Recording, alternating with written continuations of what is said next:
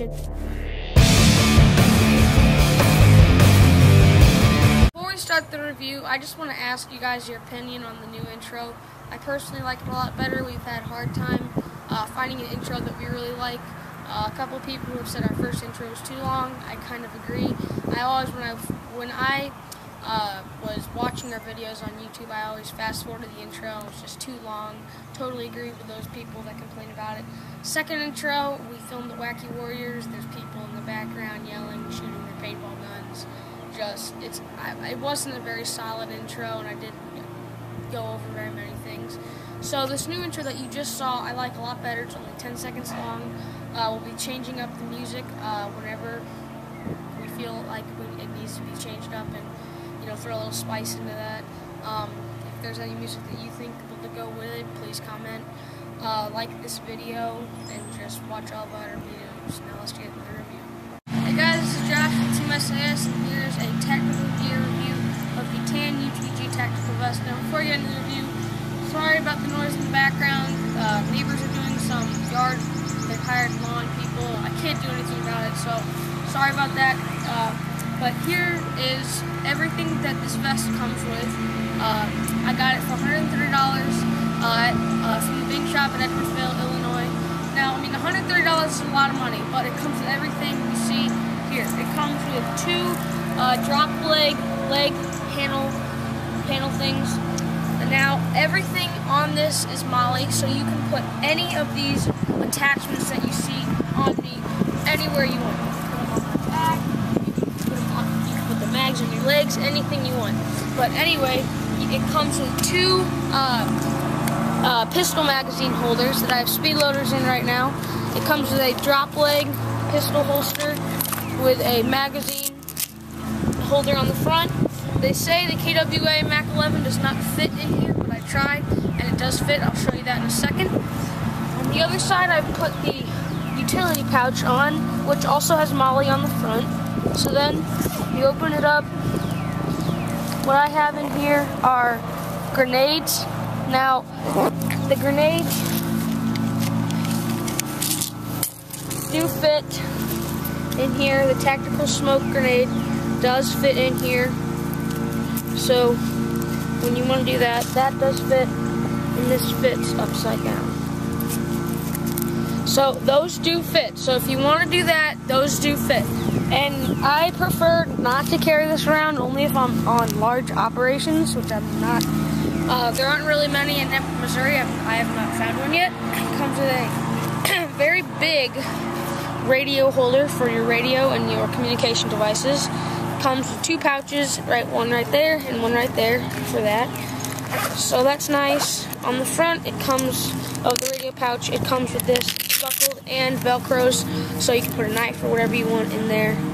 So that's nice. It comes with four or two double holding M4 magazine pouches. These only hold one magazine. As you can see uh, they're not two magazines are not going to fit in there. Also for your extra magazines that you do not want it comes with a nice uh, MOLLE dump pouch. Very nice very big can hold all the mags that you want on here. So um right here, you got a, I'm not totally sure what this is for.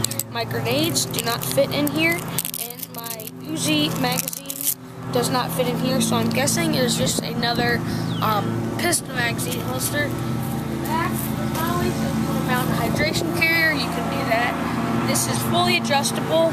Um, right here, you have your clips so three clips, those are adjustable. Those are fully adjusted right now. So then it also zips down to take off. So that's what you got right there. On the side, right here, as you can see, there are three buckles for adjusting, and on the other side there are as well. Um, the belt that I have on, uh, I just find it more easy to do. The belt is not attached to the tactical vest, but usually what you what it comes to do is you put the belt through here, and as you can see, I have them all the way around. But the belt, this un this unbuckles like this, and then it rebuckles in the same way, like that, and then as you can see, there's Velcro all in here, and these straps right here, as you can see, that goes through, so you tighten that to however you want in there. The drop legs, they go over and they buckle and they clip around your legs. So for a lot of adjusting, this is a very nice tactical vest, fully adjustable. Um, this is fully adjusted on me right now.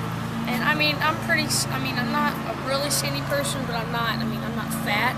So, I mean, for a bigger person, a bulkier person, this would be great.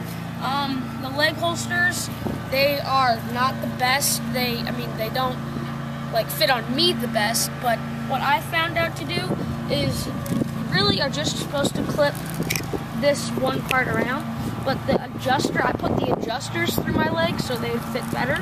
So, I mean, you can do that if you're my size. I'm only 12, so, you know. But as I said, this is all MOLLE vest. You can adjust this any way you want. Put magazines all over. You can put magazines on your back. You, I mean, you can do anything when you want. Liam on our team has this video, uh, not video, he has this tactical vest but an ACU. He has a loadout video. Check that out. It's very cool. Um, we can have, we'll have some footage of me in a battle with just leg panels on. I do not have the tactical vest, but just a leg panels. But in conclusion, I would give this vest a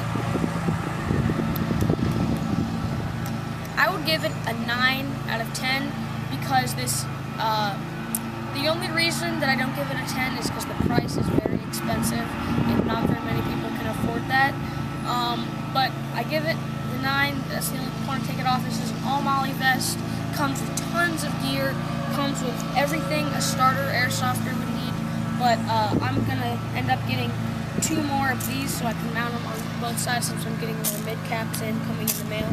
But uh, that's basically it. This has been Josh from Team SAS. I hope you enjoyed that little real footage. Real quickly before you guys go, I just wanted to show you, like I said, I would put the Mac 11 in.